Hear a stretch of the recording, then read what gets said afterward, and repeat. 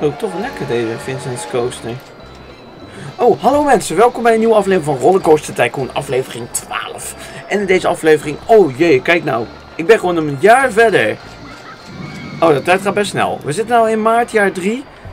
En we hebben nieuwe attracties, na het intro.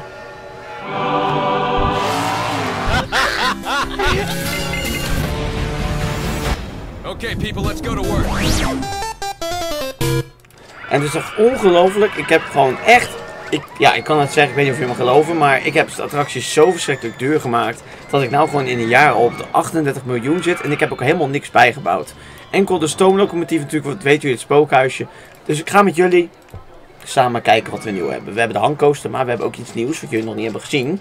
En dat is namelijk de Rapid Rivers. Of de River Rapids. Dat is een, eh, ja, een, een, een baantje. En ik wil eigenlijk, nou, ik maak gewoon, ik maak gewoon een bestaande. Is gewoon een wildwaterbaan. Denk aan de Piranha, om het even gewoon kort grof te noemen. En ik ga een mooie plek zoeken voor deze Piranha.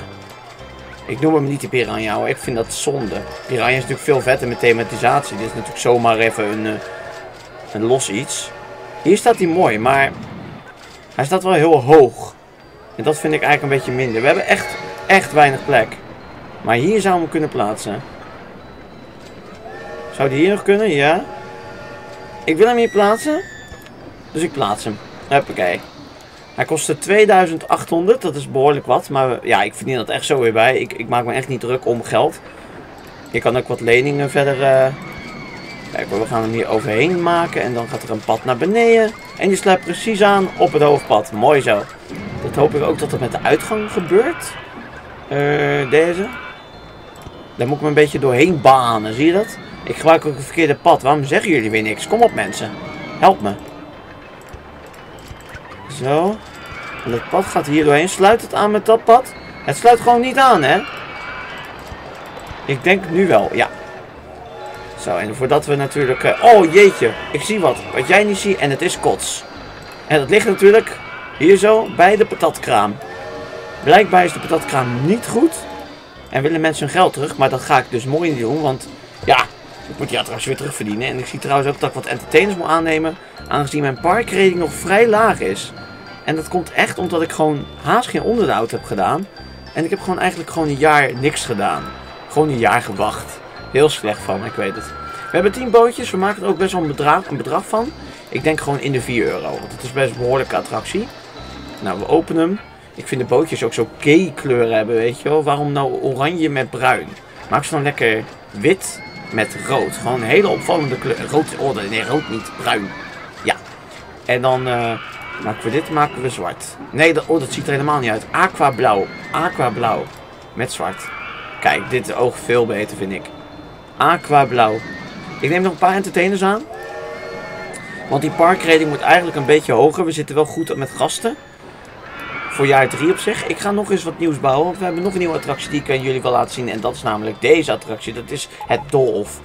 Eh, ik kan het bestaande maken. Ik kan ook gewoon zelf eentje maken. En dat vind ik het leukst. Ik maak graag liever zelf een. Nou, het begin is makkelijk. Boom moeten weghalen eerst. Altijd bomen weghalen voordat je begint. Ik wil oppervlakte. Zo, we gaan nu een dolf maken. Het is net als een beetje als in Disneycraft eigenlijk. Je moet gewoon altijd eh, ja, de mensen een beetje gek maken, hè? Van, oh, waar moet je heen? En eh, kan je die kant op? En eh, zo, huppakee, dit loopt dood. Oh, dit is verkeerd wat ik deed. Eh, wacht even. Zo. Ik had allemaal fix, hè? Wat je net zag wat ik deed, dat is... Ja. We laten hem helemaal naar voren lopen, zo. En daar loopt gewoon dood, maar dat weten mensen niet. Als je gewoon niks zegt, dan, dan, ja, dan kunnen die bezoekers gewoon in zichzelf gewoon spelen. Met dat dolf. Ik maak hier een kringetje. En ik zet dan daar een boom in midden.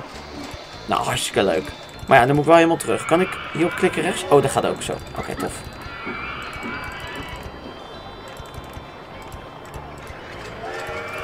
Het is natuurlijk wel een gedoe om een dolf te maken. Het is heel veel klikken en kijken waar je heen gaat. Het is een beetje improviseren natuurlijk. Dat wel. Zeker weten. Altijd improviseren. Kan ik goed klikken daarop? Rechts? Ik wil daar... Ja, daar wil ik. Tu, tu, tu.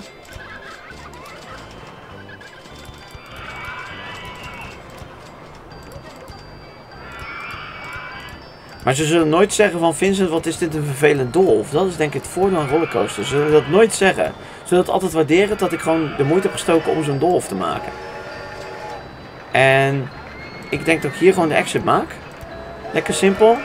Zo. Dan zeggen we de entrance hier. Geen wachtrij, gewoon in één keer doorlopen.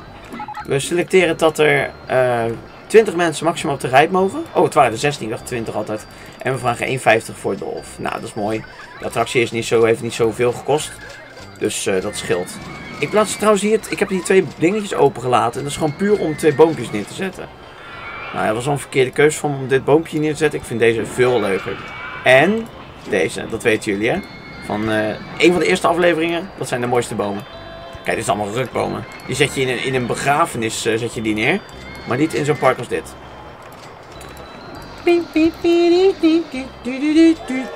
Liedje is leuk. Nou, je zal niet misselijk worden in... eh, Oh, hier moet trouwens ook wat eh, bankjes komen. En mensen zitten echt te loeren naar die attractie. Het is echt hartstikke leuk. Daarom is Rollercoaster 2 is veel beter dan 1. Dat is echt 100% zo. Ik sla hem vast op. Zo. En we gaan dus kijken. We hebben nog meer attracties. We hebben namelijk eh, nog een waterattractie. De water tricycles heet het. Dus de waterfietsen eigenlijk, om het zo te noemen. Ga ik die plaatsen? Eh, we hebben, even kijken hoor. We hebben niet veel, we hebben de botsbootjes. Hier, de botsbootjes. Die zijn ook wel leuk, maar die gaan we niet gebruiken. En we hebben eigenlijk niet zo heel veel attracties. We hebben alleen die hangende attractie, maar dat vind ik geen bijzondere. Eh, ja, ik zeg we hebben 36 miljoen. Ik zeg gewoon nog een keigrote achtbaan. En het liefst een houten achtbaan of een looping. Dat is moeilijk. Ik denk gewoon houten. Want die zijn gewoon super mooi. Dat zijn gewoon prachtige achtbaantjes. En ik wil een beetje een langwerpige. Eh, even kijken, welke is lang? Deze is wel vrij lang, maar voor mij hebben we zoiets al in het park staan. Deze is groot, Woodstorm. Die ziet er ook heel tof uit. Ik ga deze eens bouwen. En nou een plek zoeken, dat is, dat is het punt. Je moet een plek zoeken. Ah. Ik denk dat we maar gaan uitbreiden naar hier toe. Goed idee, Vince! Oh, ik krijg een sms. Zo, kijk, ik bouw daar gewoon die achtbaan. Een beetje YOLO. Want we gaan natuurlijk ook een beetje werken naar daar zo. Ja, ja, ja, ja, ja, stil maar. Ik zet even mijn geluid op voor mijn mobiel. Sorry. Het is voor een noodgeval. Oké, het was Rowie. Rowie, stoort mij! ah, dat weet zij niet natuurlijk. Dat ik aan het opnemen ben. Ik, ik, meestal ja, ik zeg nooit van, ik zeg soms wel eens van, ja, ik ga opnemen, maar...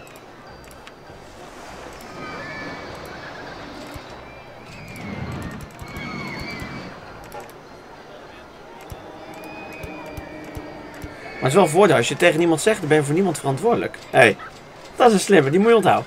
Deze is een achtbaan. Dus een mooie achtbaan. Hoe ga, we gaan het natuurlijk wel duur maken. Want ja, die cash moet wel terugverdienen. We hebben deze meer dan, nou, bijna 10.000 euro gekost. Dus ik ga deze ook gelijk 7,50 euro maken. Dat is een echt een behoorlijke prijs. Maar ik denk dat mensen dit er wel voor over hebben. Want het is een klein, compacte achtbaan. Hij is minder groot dan ik had verwacht. Maar ik denk dat dat wel uh, leuk staat. Twee achtbanen, houten achtbanen. En ik wou zo graag hier nog een achtbaan maken. Ik denk dat ik die zelf ga maken. Ik denk dat mensen ook zoiets hebben. Vincent, maak een achtbaan. Maar ik vind de achtbaantypes niet zo leuk. Dus ik kijk even stiekem wat er wordt ontwikkeld voor mijn park. Uh, een waterrijd wordt er gedesigned. Ik, ik, wil eigenlijk geen waterattracties meer. Ik ben er een beetje klaar mee. Bouw me gewoon een rollercoaster. De volgende attractie wordt een rollercoaster. En die wil ik graag hier plaatsen, in dit terrein. Nou, mensen zitten al helemaal in de dolf. Echt hartstikke leuk. Er ligt trouwens kots hier. Dat wil ik ook niet. En de parkreputatie is 906. Nou, dat is aardig. Heeft aardig aangehouden dit. Dat is gewoon goed. Toch? Ik ben gewoon goed bezig.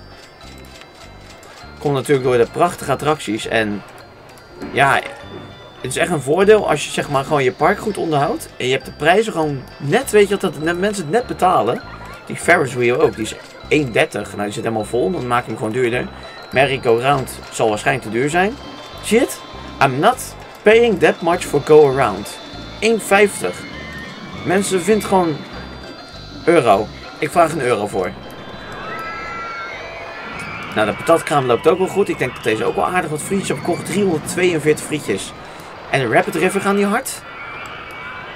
Ja, die gaat wel redelijk.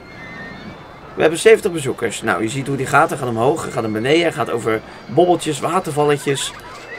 Het ziet er ook leuk uit dit trouwens. Dat je onderdoor gaat en onder watervalletjes. En hier gaat hij in een draaikolk. Hartstikke leuk. Die. En er kunnen wel een paar... Kunnen acht mensen op een bootje volgens mij hoor. Ik kan het tellen als ze hier uitkomen. Oh, dat wordt lastig tellen. 1, 2, 3, 4. Ik tel er gewoon 4. Maar ze rennen wel echt keihard. Ze rennen echt keihard uit die attractie. En ook het realistische is dat als ze een trappetje afgaan, dat ze dan iets minder hard rennen dan op het normale pad. Zulke details is. Het heeft Rollercoaster Tycoon. Dat is gewoon fantastisch. Dat is echt. eh ode aan Chris Sawyer, de maker van de game. Geweldig. Ja, het is ook logisch natuurlijk dat je wel wat minder hard gaat rennen bij een trappetje. Ik vind dat hier ook nog wel wat moet komen, maar de research gaat niet hard. Ik snap ook niet waarom ik nou, omdat ik zoveel geld heb, de maximum funding doe. En we krijgen een lofvolume. Een lofvolume. Nou, dat is leuk. Weer een lofvolume. Nou, dat is dan een aardige attractie, altijd. Die komt de tiende van mei. Of de... Ja, 10 mei. April. Nou, nog even een paar dagjes wachten en dan hebben we hem. En de nieuwe achtbaan. Zitten vier mensen in. Dat betekent 30 euro winst. Staat het er al bij, 30 euro winst? Hmm. Nee, 74 euro. Oké, netjes. Zijn er wat meer mensen ingegaan dan vier? En ik denk dat deze achtbaan best wel heavy is. Nou, het valt mee. Het kan ook extreme high zijn, maar het is best een behoorlijk achtbaan. Ik wil hem even gaan volgen. Terwijl de attractieontwikkeling wordt, eh, wordt verder gegaan. En deze zit best wel vol met mensen, joh. En je ziet ook dat er heel veel mensen voor in de achtbaan zitten en achter in de achtbaan. Of in, de, in een treintje dan natuurlijk. Je begreep wat ik bedoel als ik zeg... eh, Maar dat is leuk dat het ook best realistisch is. Want als je kijkt naar attractieparken zoals Efteling of zo... dan zie je altijd dat er een ho- hoop mensen voorin en achterin de Python gaan bijvoorbeeld. Nou, die gaat leuk naar beneden. Maakt hier een eh, bochtje. Kijk eens even jongens. En dan maakt hij hier nog een heuveltje. Hij gaat even een lekkere speed deze achtbaan. Lekker vaartje. Dat moet ook. Hè? Bij een houten achtbaan ben je eigenlijk verplicht. Net kijk naar Joris en de Draak. De vernieuwde, vernieuwde achtbaan in Efteling. Die heeft ook continu ja, een goede snelheid. En ik geloof dat eh, Robin Hood in Walibi dat ook wel aardig heeft. Zo'n snelheid in de achtbaan. Oké, de Woodworm heet hij ook. Leuke, de houten worm. Is ook best realistisch. En de gaybaan. Heeft de gaybaan hoeveel... Ik maak er 57 van hoor. Echt YOLO. Kijk, die, die attractie heeft 17.000 euro opgeleverd. En al meer dan 2600...